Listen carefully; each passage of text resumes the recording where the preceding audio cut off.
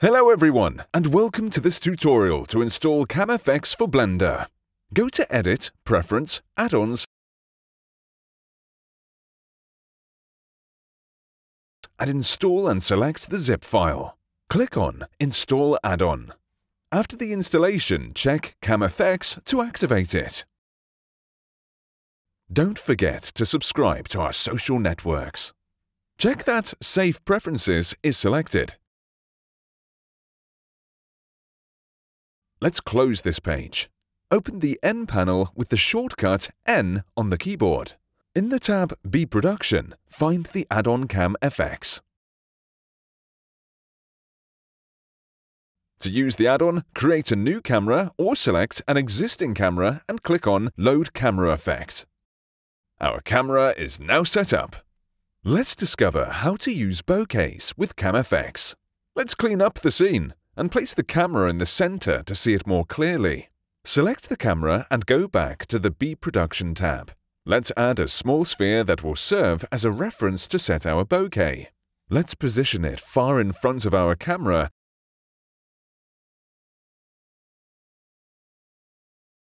and add a Power 10 Lights shader to see it. Let's activate the rendering mode to see the result. Only with cycles, Eevee will not work. Let's go back to our camera and check bokeh to activate it.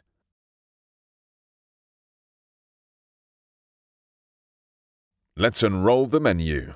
Select the category that suits you and click on the image to see the different bokehs appear. The important settings are in the camera settings at the bottom. This is a shortcut to the existing camera options. A bokeh is a blurred area.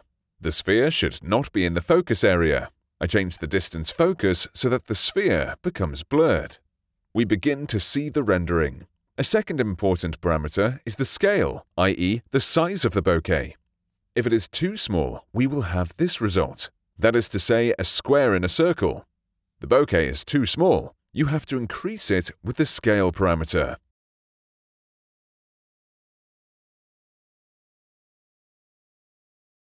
It is still too small. A little more. This is better. 1.4 is too much because the image becomes too dark. I'll go back to 1.2. The other important parameter is the f-stop. This is the amount of blur in your image. 0.1 will have a lot of blur and a very short sharpness area. Now the bokeh is too small. We need to enlarge the scale. It is still too small, still too small that we see the borders. Now it's good. These are the three most important parameters to adjust the bokeh. The scale, the focus distance, and the f-stop. This bokeh is not very bright. There is not much light area, compared to this one where there is a lot of white. To correct this, increase the exposure slider. Now let's look at the other parameters. The bokeh materials to change the hue, saturation, value, and blend factor. Rotation allows you to rotate the bokeh image, and distance is a parameter you probably won't use. It is the distance of the bokeh shot from the camera. If the shot is behind the camera, the bokeh will not be visible. If it is too far in front, it will look strange. Let's leave the default value. In the camera settings, we have seen the focus distance, which allows us to define the zone of sharpness, but we can also define it by choosing an object. The ratio allows you to give interesting effects to your image. For example, let's add other light sources and change the ratio to 3. The bokeh image is crushed and will give you an original look to your images. A good way to adjust your bokeh is to choose a very original bokeh like this cross. Earlier I showed you the image of one with too small of a scale. You can see it clearly here. Now let's see the problem with one with too big of a scale the image will be distorted and will come out of the bokeh. Once you have made your settings, you can start creating your scene. What I mean is that the setup can be long and tedious. To make it easier, set up your scene with simple elements, a camera, a small light source in the center of your scene, and a very original bokeh. Remember, three fundamental parameters, the scale, the focus distance, and the f-stop. Let's discover now the other CamFX feature, the lens dirt. I check lens dirt in the add-on. A new plane appears in front of the camera. It is him who will create the effect. To adjust the effect and facilitate its implementation, we will load a light source. This can be a light source from Blender or a HDRI map. I go to Transportation and load a HDRI map.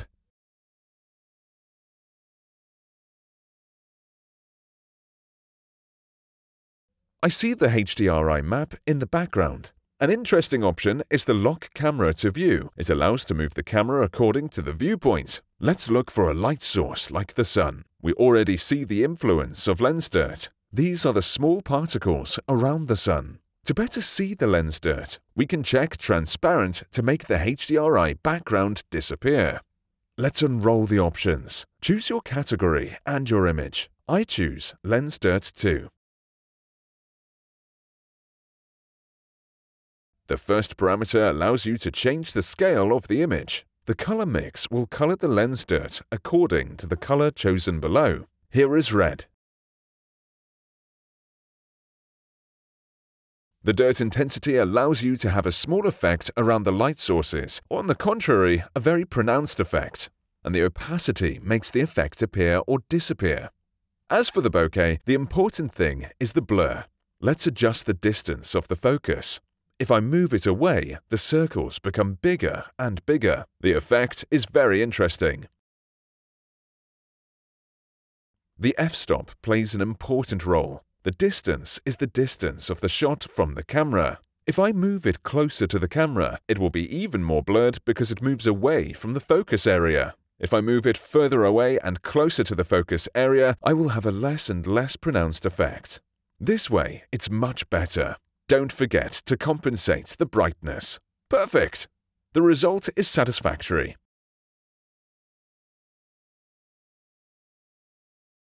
The setting is finished. We can activate the background. We now have the lens dirt effect and the background. When we move the camera to an area where there is no light, the effect disappears. It appears again when we approach a light source. What is very interesting is that we can mix the two effects. Just check both. And here is the result. Again, we have to adjust the scale of the bokeh because it is too small.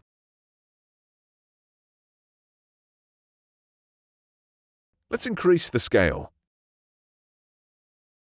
Change the bokeh and select this one.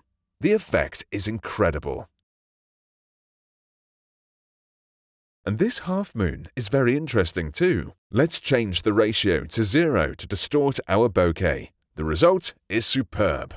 The most important thing to remember is that CamFX is a professional tool. It is intended for experienced Blender users. The setting can be long and tedious. Follow the methodology explained in this tutorial to facilitate the handling of the add-on. Set up a simple scene with few elements. It will be much easier to find the right settings. If you set up a complex scene, you may have to pull your hair out to find the right settings.